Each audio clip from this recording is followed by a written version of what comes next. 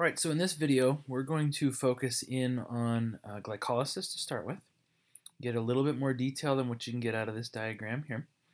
We're going to look specifically at the mechanism for producing ATP in glycolysis, a process called substrate level phosphorylation. And then we'll look briefly at two alternatives to glycolysis, one that's common and one that's considerably less common. All right, glycolysis can be broken into two major stages. It's, it's got 10 steps total. When I say steps, what I mean are 10 different enzymes. There are 10 enzymatically catalyzed steps in this biochemical pathway. We're going to start with glucose, a six carbon sugar. Let's see if I can get my arrow here. Our six carbon glucose, and in the end, we're going to end up with two three carbon pyruvic acids. Pyruvate, pyruvic acid, same term. If I go back and forth, I apologize. So our six carbons in glucose will then be found in these six carbons here in pyruvate. It's going to take 10 enzymatic steps to get there. Do not memorize the names of the enzymes. Do not memorize all of the intermediates. I will show you which ones you need to know as we go along. The first five steps are often referred to as the energy investment stage. What we're going to do is we're going to take this glucose and we're going to destabilize it, and it's going to cost us two ATPs to destabilize it. It's in a pretty stable state. If you take glucose, put it in water, it's pretty happy, even if oxygen's around. It's not going to break down uh, on its own at room temp. If we add a couple ATPs, we can phosphorylate the glucose. Phosphorylation is a common way to destabilize a molecule.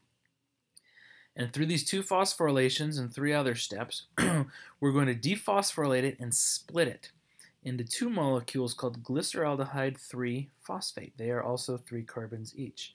So we went from our six carbon glucose to two phosphorylated three carbon molecules, glyceraldehyde 3 phosphate. This is one you probably should be familiar with, two G3Ps. Uh, and you should know how to spell this out as glyceraldehyde 3 phosphate.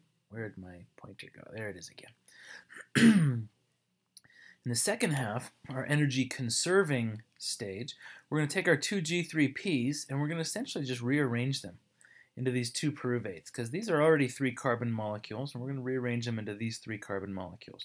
But these rearrangements will be energy yielding. We're going to get our initial two ATPs back here, or pardon me, our two, initial two phosphates are going to come off and be used to drive phosphorylation of two ATPs by substrate level phosphorylation. And then in step number 10, we'll get two more ATPs out of this process. So it costs us two up front, but then we get four out the backside, and therefore we're going to net two ATPs per glucose. So if we think about the whole process, we've got a six carbon glucose, gets split first into two three carbon glyceraldehyde 3 phosphates, which then get rearranged into two three carbon pyruvates.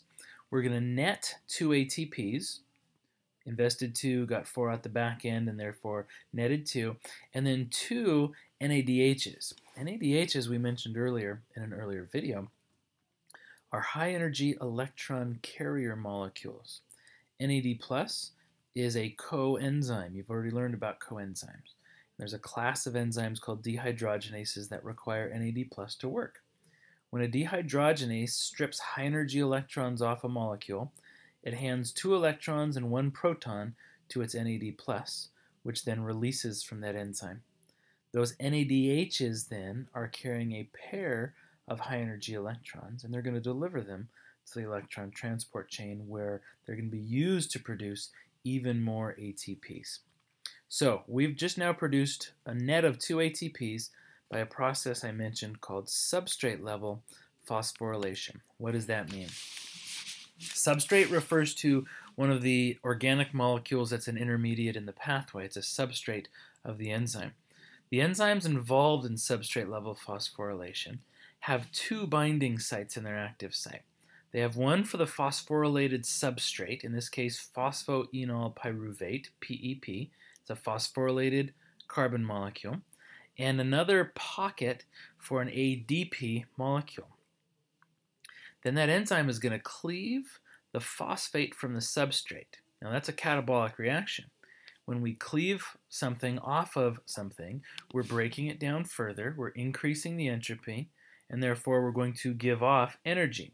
The energy that's released by cleaving this phosphate here on the left, can't get my pointer back, by cleaving this phosphate on the left is going to be used to covalently attach the phosphate to the ADP, giving us ATP. So really all substrate level phosphorylation is, is taking a phosphorylated intermediate, transferring the phosphate from that intermediate to ADP, releasing phosphate and the unphosphorylated or dephosphorylated carbon molecule. And look, this happens to be pyruvate. So think about it for a minute. Which enzyme is this? In that, that diagram I gave you of 10 steps in glycolysis, which enzyme is this? This is enzyme number 10, isn't it? Go back and look at that and see how we know from this picture that this happened, this example they've given us is enzyme number 10. So that's an example of substrate level phosphorylation. Now, before we move on to the Krebs cycle, we need to first look at two alternatives to glycolysis. The pentose phosphate pathway is common among a lot of different living things, including bacteria. I'm going to tell you it's also called the phosphogluconate pathway. Again, I don't expect you to know that for my class, but you may see it on a standardized test someday, so it's probably worth tucking that one away. We're just going to call it the pentose phosphate pathway. Pentose phosphate pathway is common in, in microorganisms that already also have a glycolysis pathway, so it becomes an alternative depending on the conditions. And if you look at this, what happens is a 6-carbon glucose is rearranged into two different possible molecules, ribose 5-phosphate or erythrose 4-phosphate. So ribose is a sugar, erythrose is a different sugar. We're just rearranging our glucose into either ribose or erythrose, and we're phosphorylating it. Why would we do that? Well, ribose 5-phosphate is an important precursor for building nucleotides, and erythrose 4-phosphate is an important precursor for building amino acids. In the process of, of, of, of rearranging our glucose into ribose 5-phosphate and erythrose 4-phosphate, we get one ATP per glucose. That's half of what we saw with glycolysis, and it is by substrate level phosphorylation. And then we get two high energy electron carriers called NADPH. It's a phosphorylated version of NADH. Now, NADH is going to be able to donate its electrons to the electron transport chain. NADPH cannot donate electrons to the electron transport chain, but what it can do is it can supply electrons for building new molecules. If you think about that, if you want to build new molecules, you have to create new bonds. Bond, covalent bonds represent shared electron pairs, Easiest way to provide those electron pairs for creating new bonds is with NADPH.